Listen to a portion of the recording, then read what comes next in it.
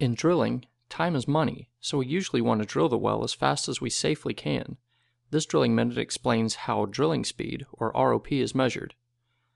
ROP stands for rate of penetration, which is basically how fast the bit is drilling the hole. Average ROP is generally measured by taking the total distance drilled divided by the time it took to drill it. For example, if you drill 1,000 feet in 10 hours, 1,000 feet divided by 10 hours is 100 feet per hour, on average. But average ROP doesn't tell the whole story. Let's say, for example, you leave your house and it takes you one hour to drive to a rig about 40 miles away. We could say that you drove at 40 miles per hour.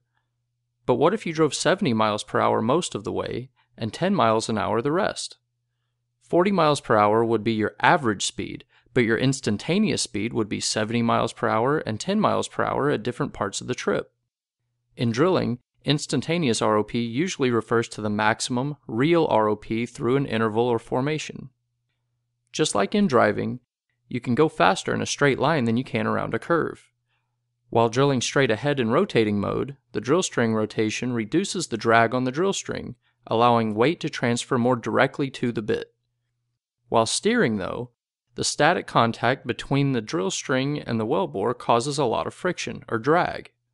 Because of the drag, there is less weight available to drive the bit ahead, which is why sliding ROP is usually much lower than rotating ROP.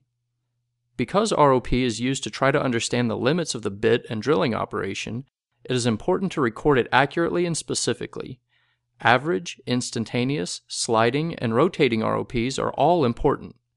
In many cases, recording the sliding and rotating footage in hours is the best way to document the ROPs. This information and much more can be found on the Directional Driller slide sheets and BHA report. There are many other components that affect drilling performance, like motor configuration, which will be the topic of the next segment. This drilling minute was brought to you by Ulterra, an ESCO oil and gas company. Please send feedback to info at ulterra.com, and thanks for watching.